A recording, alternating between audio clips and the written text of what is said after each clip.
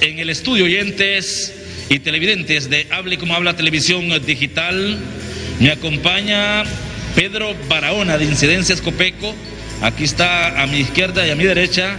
Estoy con Carlos Canales, pronosticador de turno aquí en Senados Copeco.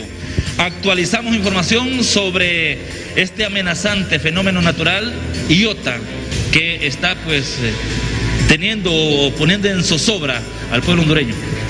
Muy buenas noches, eh, televidentes de HCH. Sí, Iota es un poderoso huracán. Eh, aquí lo vemos en imagen, está como a 370 kilómetros eh, del Cabo de Gracias a Dios en Honduras. Como se ve en esta imagen, eh, ya tiene un centro bien definido, como la, la, población lo conoce como popularmente como ojo. Esas son todas las características de un ciclón eh, tropical mayor, o sea, un eh, huracán de categoría 3 en adelante, a falta de confirmación oficial, que lo están haciendo a través de un avión caza huracanes que en este momento está en vuelo hasta, hasta, ese, hasta este sistema en este momento pero son todas las características eh, eh, de, un ciclón eh, de, de, esta categoría, ya con vientos superiores de los 177 kilómetros por hora en adelante. Eh, así que este sistema va a seguir su movimiento en general hacia los 270 grados, 285 grados con destino a Puerto Cabezas, en Nicaragua, entre Puerto Cabezas y el Cabo de Gracias a Dios, mañana por la tarde o después de las 8 o 9 de la noche, impactar este centro. Aquí, este huracán va a seguir intensificando en las próximas 12, 18 horas y podría ser un huracán de categoría 4 eh, durante las próximas, como les digo, 12, 18 horas. Eh, pero las bandas de lluvia, como ya se ven, ya están produciendo precipitaciones moderadas en el departamento de Gracias a Dios y a medida el sistema sigue moviéndose en promedio entre 15 y 17 kilómetros, va a empezar a, producir lluvias en el departamento de Colón, norte de Olancho, muy temprano el día de mañana. Y, y, van a empezar a sentirse lluvias en general sobre sectores de la costa caribe. Ahora, ¿cuál es la diferencia o por qué se está mencionando que será más potente que el huracán ETA, este nuevo fenómeno natural? Bueno, eh, no, eh, la diferencia eh, con la, en términos del ciclón tropical tienen la misma categoría. En primer lugar, se puede alcanzar la misma categoría. si nos referimos a la costa caribe, la costa caribe no tenía los daños que tiene ahora. El país en general no está tan vulnerable. Recién, recordemos que hace semana y media, 10 días, recibimos todos los daños por el ciclón tropicaleta.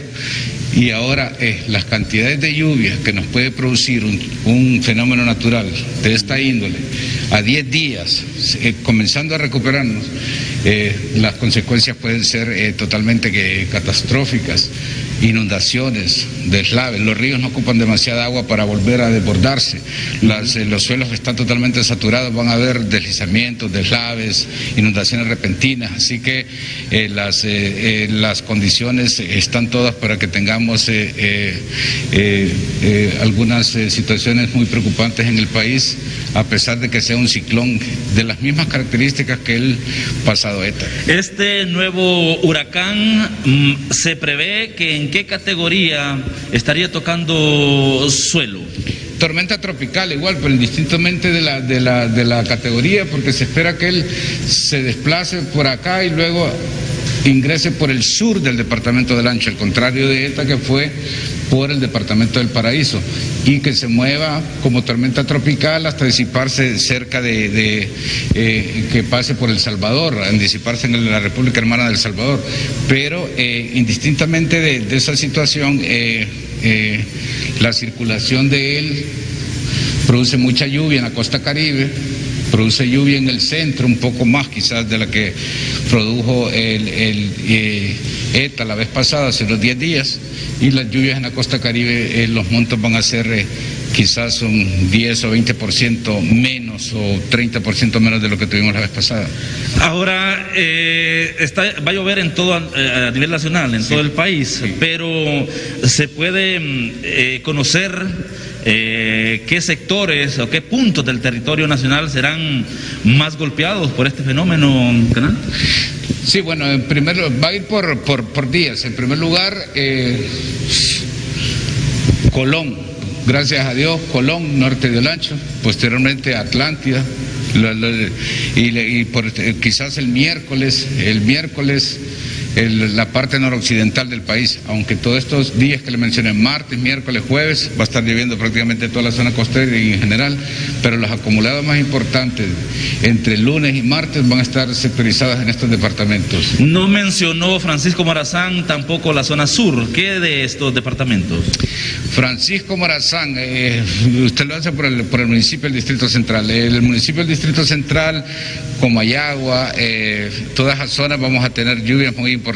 El Distrito Central en, los dos días nos, eh, el reporte fue alrededor de 120 milímetros por el paso de ETA. Quizás tengamos eh, quizás 20 o, como le decía aquí 20 o 30% más de la lluvia.